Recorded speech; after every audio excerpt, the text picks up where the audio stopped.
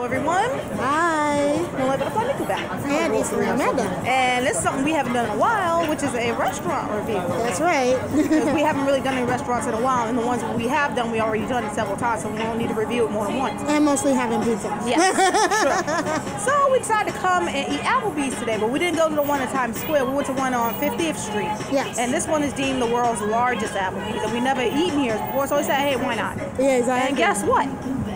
Much better service, Way better. much cleaner, Yep. much more quieter ambiance. Bigger. much better than the one on 42nd. Much better. They didn't even overcharge us with nothing like that. No. I think they only charge gratuity for like if you have If, big if you have a big party, yes, it did because I checked the bill and it didn't include the tip.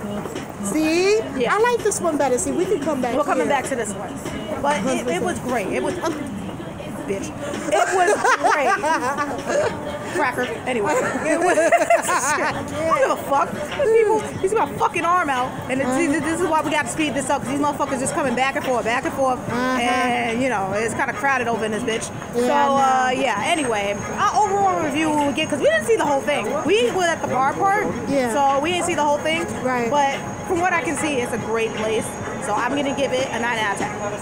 I didn't say a perfect ten. I, I have no issues. Nothing. It was good. Nothing, there was no problems Yeah. about it. Like I really wasn't. Perfect solid ten. Yeah, it was a good restaurant. And I recommend if you come here, if you haven't been here, it's on West 50th Street. Mm-hmm. You'll see it as soon as you walk back here. It's across the street from Duane Reade, is right there. Yeah. And, I um, think yeah. it's uh the address. I think it's two oh five West West uh fifth.